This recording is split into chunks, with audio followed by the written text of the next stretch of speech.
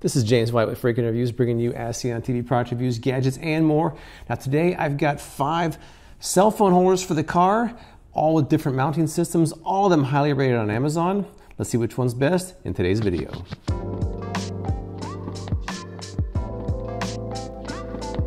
there's no need for an explanation. Let's get right to it and crack these open.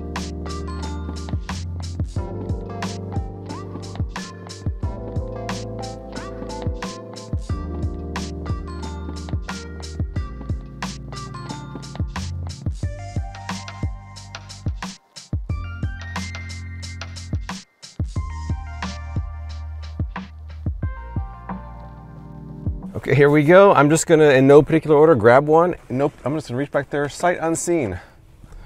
Oh, this is the one I'm actually the most interested in. This is the, I think it's called Bosynoy cradle type. I've never seen a phone mount like this before. And you just, it just kind of clamps down your phone like that. So that's kind of an interesting design. Here goes nothing. I'm just gonna put it just like that. I mean, this is the only installation for it. It's very not very uh, it's not very extensive. That's it. Clean the dashboard, which I did. Tear off the transparent film, which I did. Put it on the dash and press it. That's it. That's the only instructions for it. So it should be good.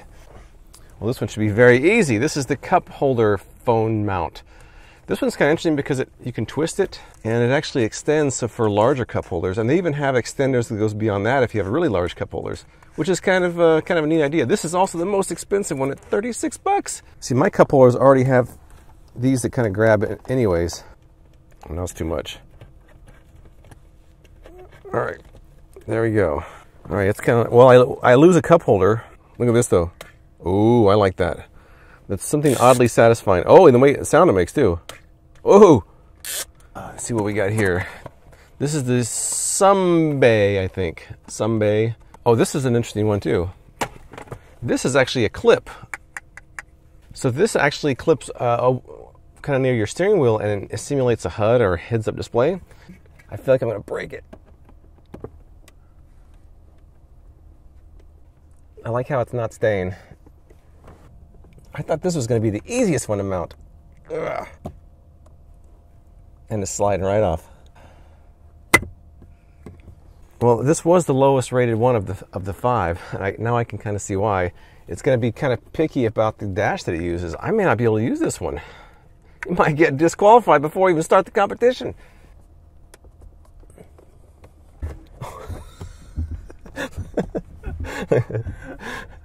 I just hit the windshield wipers. Oh, it's chaos in here. Well, I might have to just try this in a different car, but as far as this test goes, it ain't gonna work. What's next? All right, this is just a standard clip type mount, so let's just try it on here. Now that was easy to install. This one has a cool button on the back, and here we go. Ooh, ooh. Another oddly satisfying one. Oh. And finally, I've got the window mount. The mounting system is pretty familiar. You just stick it on there and push the lever. So let's try it out. I was gonna have one mounted here, but since that's not working on this car, I'm gonna put it on this side. I mean, I guess when you push the phone in there, it automatically grabs onto it. So let's throw some phones in here and get driving. How about this iPhone? I think it's a 6S with kitty cat ears on it. We'll put that one up here. Cup holder mount. I'll try this iPhone, what is this, a 7 Plus? 7 Plus. Very nice. How about for this clamp type? Oh, it does work, okay. I'll put the iPhone 10s Max. Oh wow, that's it. That actually works pretty well. Let's try this Samsung S6 Edge. All right, we've got the com command center here. Window mounted, clamp mount, vent mount, and cup holder mount. And the clip type failed already. But let's uh, get driving and see how well these hold up on some regular freeway driving. All right, for the first real world test, I've got four of the phone mounts because number five is riding the pine. This one's on the sidelines. But I've got all of them set up with GPS running, so they're all active phones. Um, so far, they all seem stable, but the air vent one I think is probably bouncing around the most, but it still seems pretty stable. This one I'm most surprised about because I wasn't sure it was going to work at all, and it seems like it's steady as a rock. So, so far I can see why they're all pretty highly rated, but we got a long way to go. And also, I'm also going to rotate phones through each one so they're all carrying a different phone at different times because the phones might be different weight and different sizes, so that could affect things as well. But we'll just keep testing them, see how they do. About five seconds after I finish that segment, but look what's hello, nothing there. This one just hit the deck. Ugh, that's a that's a bad omen for this one. I'll remount it and see how it go, goes. But I don't know. We have one that just dropped in the rankings, and uh, I'm a little disappointed. See how the other ones do. Now, there are clear difficulties when comparing phone mounts in a specific car because every car is configured differently. So, your car may have different obstacles that mine do, and vice versa. But last night, I actually drove across town and back, and I used the four that are mounted here. The clip one I'm still kind of waiting on. But I used these four with two phones on the way there and back. I didn't have my camera with me, but I tested them out. I've got a few additional observations from that initial test. Starting with the cup holder mount, um, I will say it's very sturdy. Not only is it very sturdy, but it's it's quite easy to uh, move around. Some of the others are a little bit stiff, and you have to kind of loosen them. But this one, I was really happy with how just how solid that feels. The only problem is that it's so close to me in my car. Now, some cars it'll be up here, which is makes more sense. I had this on my GPS driving across town last night, and it's so close to me that I feel like I was kind of having to reach almost backwards. If it was up here, it'd be a lot easier to, to touch it. So I'm not sure it's great in this car in the cup holder. Not only that, but you lose the cup holder. When you're driving alone, that's not a problem. When you got someone else with you, it is a problem. Now with the vent mount, this is obviously a very highly uh, rated vent mount, so people like it for a reason, but there there are limitations of those, and that's that your vent itself could actually cause problems if it's kind of weak or the way it's set up. This one isn't too problematic. I also found that as I was hitting bumps on the freeway, it slowly kind of did this over time, which I wasn't real happy with. I did tighten the back overnight, so I'll see if that maybe made a difference. Um, it's pretty good. I, I think it's pretty good, but I don't think it's perfect. Now the window mounted one, I actually had to re mount this one because it was over here originally and fell off. Um, I re-cleaned the glass. I did remount it and I was I left on overnight to make sure it was actually stuck properly. It seems like it's pretty solid. I do like the way this one also has one hand operation. Push it in there. And then there's a button right here that when you push your phone against it, it closes around it. Like that. That's pretty cool. Um, this is probably not the best place to mount this one because of the rearview mirror, but I'm going to leave it there for now and I'm going to test it out with more phones again. This is another one you kind of have to make sure everything's tightened. Uh, to adjust it, you sometimes have to mess with these. I'm not, I mean, some people don't mind. Now, this one has been the surprise for me so far the clamshell style. Now, it's obviously, it's not real easy for one hand. You kind of have to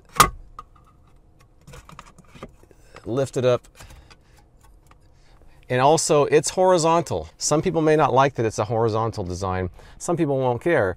But I will say that this one seems really sturdy. That phone doesn't move. And it's actually mounted quite well onto the dash.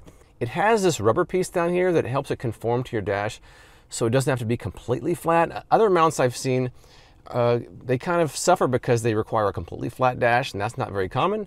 So this one I'm surprised about. If you don't mind the horizontal, configuration, this one's actually a pretty good choice. So those are some of my observations after about a day and a half of using these. I got a long way to go though, but I just wanted to check in. Well, here I am again. I think this is day number five with these phone holders.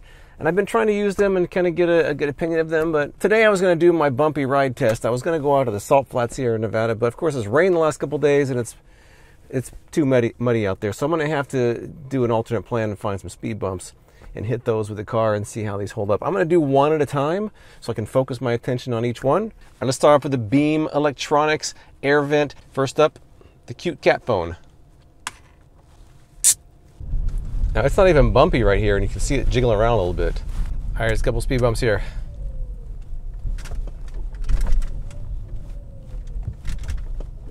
Oh, no problem.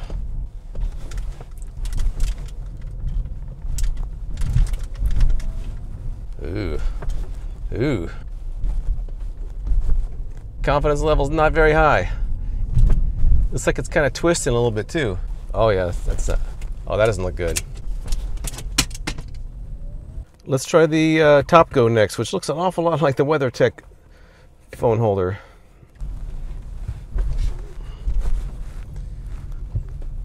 Yeah, it's barely budging. my camera is moving more than the, the phone is. Yeah, it's not budging. This is the most solid I think of any of them right now. A quick curve here, fast turn, hit some bumps. Oh yeah.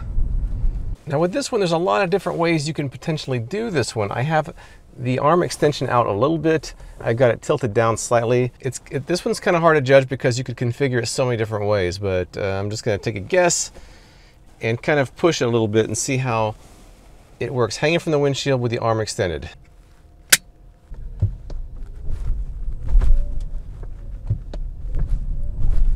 You know, that actually seems pretty solid. The small phone off the windshield is working quite well.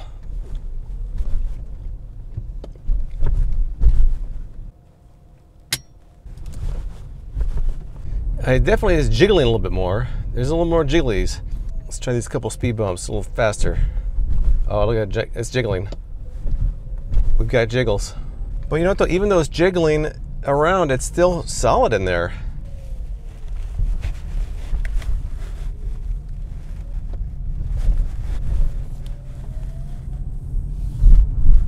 This one I kind of don't expect to move. Bump, bump,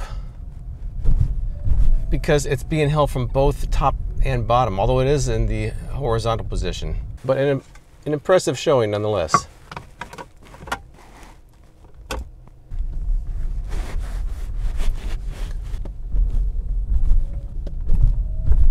I have to say that all four of them did a little bit better than I expected. I, I thought that the certainly the vent or the windshield ones would have plopped off hitting those bumps as hard as I was. Uh, you can't tell from what I was filming, but I was hitting them at a much higher speed than I'd normally hit speed bumps. And by the way, I'm in an empty parking lot, so there's nobody around here.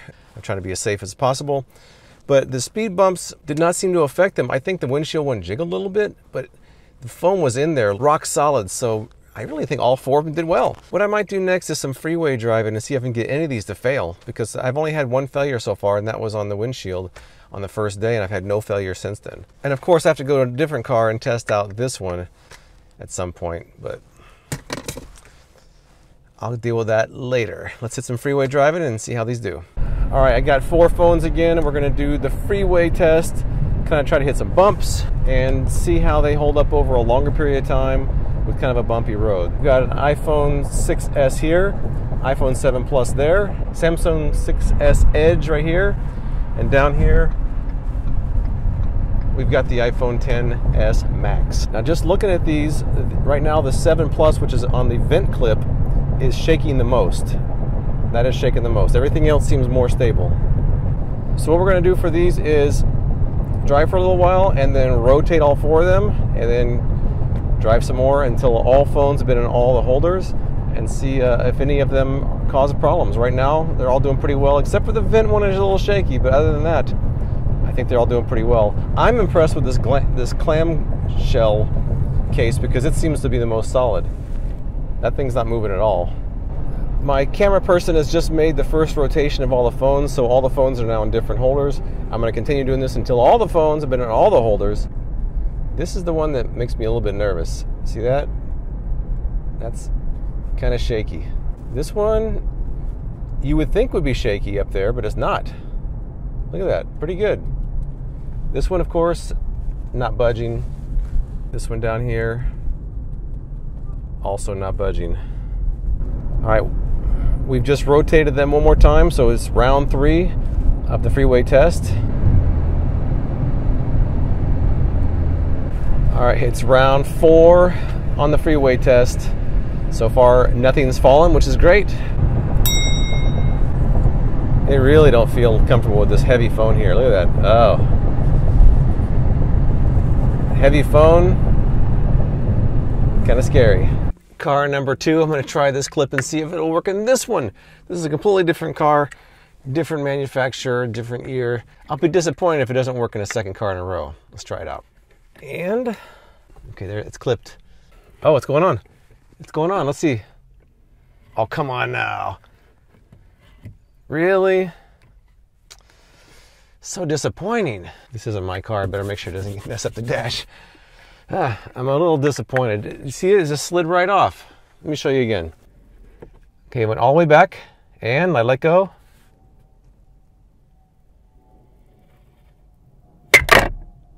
Next. All right, car number three. Let's see if third time's a charm for the clip style. Uh, if that doesn't work, I'm giving up. This is a different type of dash than the last two I tried. Let's try it out. And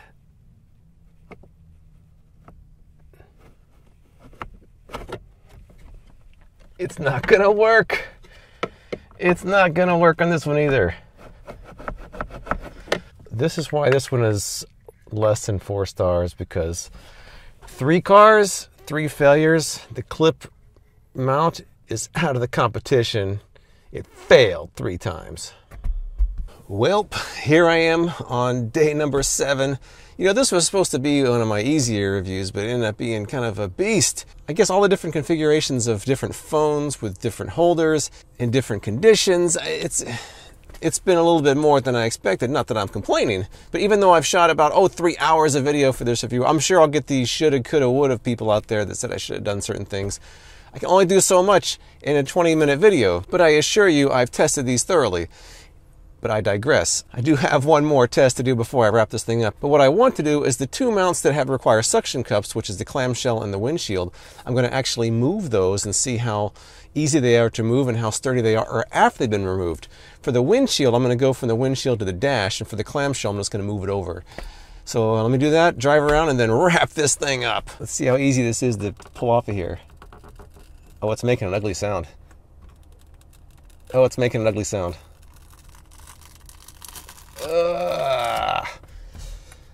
Well, there's a little bit of a mark on my dash. Will that come out? Yeah, I think it will. Could be wishful thinking, though. We don't know. All right, I'm just going to put it back a slightly different location. It doesn't feel real sticky anymore, but let's see. I don't think it really has to be that sticky when it's when it's resting on the dash. Oh, it comes off a lot easier. Oh, it comes off way easier. Oh, let me see. Oh no. Oh, come on now. Wow, that doesn't that does not stick at all. Oh, I'm so disappointed. Let's try this one next.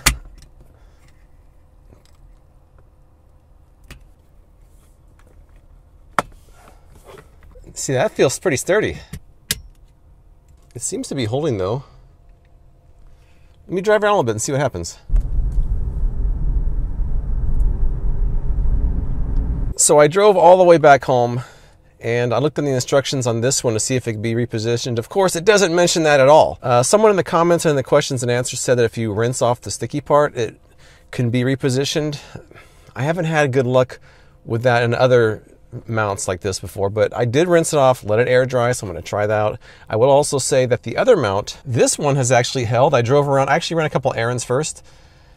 Uh, it's a little bouncy, but it seems like it's pretty solid, even though it jiggles a little bit. This base seems pretty firm, so I'm pretty happy with that actually. But let's try this mount and see if it'll stick after being rinsed and air dried. Here we go. Uh, uh, uh, just like the first time. The first time I used it, I did that and it stuck perfectly. See if I can lift it up. Oh, it failed. Oh, that's so disappointing yeah, the stickiness is just gone. Oh man. I really like this one too, but now what am I going to do? It's it's useless. Oh. All right, I think it's time for me to wrap this thing up. Now, usually at this point in my review, I'd probably do some sort of a rank from 5 to number 1, but I don't even really feel like I can rank these because your mileage is going to vary so much that I'm just going to give you the pros and cons that I experienced and hope that maybe you can get something meaningful out of it. So let's start with the one that I had the least amount of success with, which is the clip type.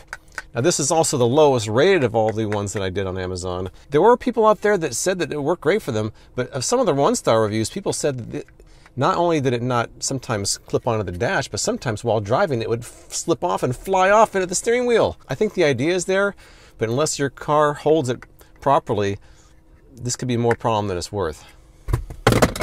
Whoops. Next up, I'm going to talk about the Beam Electronics vent style holder, which was a little bit surprising to me because I haven't had a lot of luck with these vent types, but this one actually worked better than the other ones I've tried of this type. The pros of this one is that it's easy to mount, easy to reposition, and the phone is easy to get in and out. The cons would be that it seems like it's not always that stable, it bounces around a lot, and that there is a problem that if you have your heat running in your car, it could overheat your phone. But I do think this is certainly a viable contender. I think a lot of people that get this one will probably like it. My once beloved clamshell type phone mount. I'm so disappointed it didn't reposition because this was really probably my favorite going into today until I tried to move it and then failed. The, the obvious pro in this one is that it's the, it, this and the cup holder are the most stable of the ones that I tried.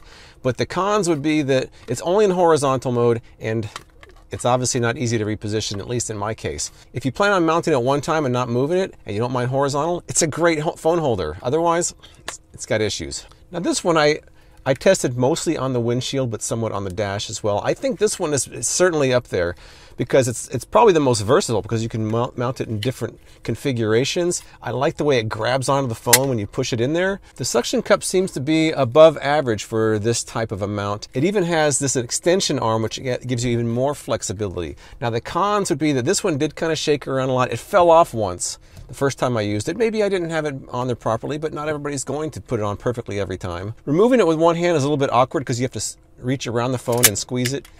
Um, but that's not really a big deal. I actually think this one is pretty good. I might actually end up using this one. And finally, the TopGo, which looks a lot like the WeatherTech cup holder mount.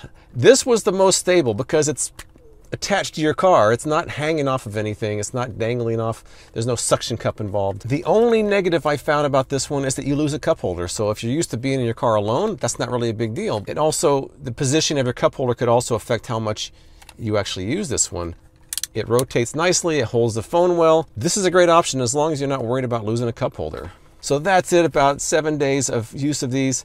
I'm kind of ready to be on to something else, to be honest with you. I think all of them worked pretty well.